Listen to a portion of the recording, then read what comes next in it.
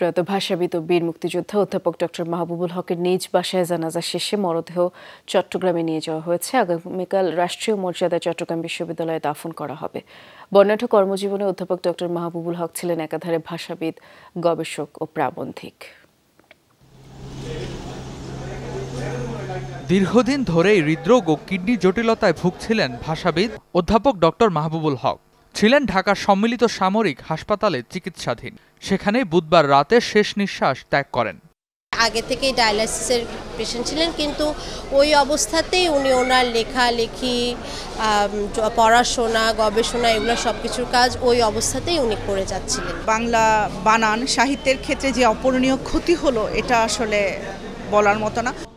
বৃহস্পতিবার বাদ জোহর রাজধানীর ভাটারার বাসায় বীর মুক্তিযোদ্ধা অধ্যাপক ডক্টর মাহবুবুল হকের জানাজা সম্পন্ন হয়। সেখানে সহকর্মী সহ সর্বস্তরের মানুষ শ্রদ্ধা জানান। বাংলা একাডেমিতে যে উদ্যোগটা শুরু হয়েছিল আশির দশকে সেইখানে তার সম্পৃক্তি।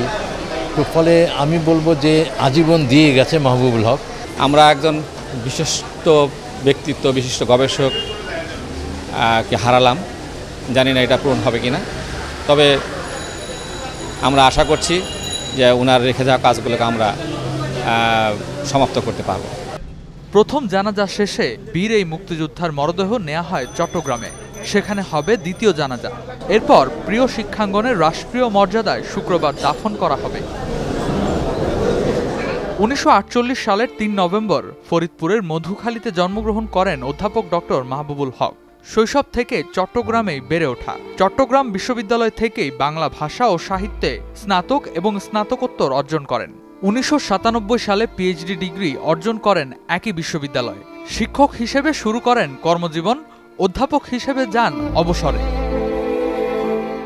তার প্রকাশিত বই চল্লিশটিরও বেশি, যার মধ্যে উল্লেখযোগ্য বাংলা বানানের নিয়ম, রবীন্দ্র সাহিত্য রবীন্দ্র ভাবনা ইতিহাস ও সাহিত্য, সংস্কৃতি ও লোক সংস্কৃতি প্রবন্ধে অবদানের জন্য দু হাজার আঠারো সালে বাংলা একাডেমি সাহিত্য পুরস্কার লাভ করেন।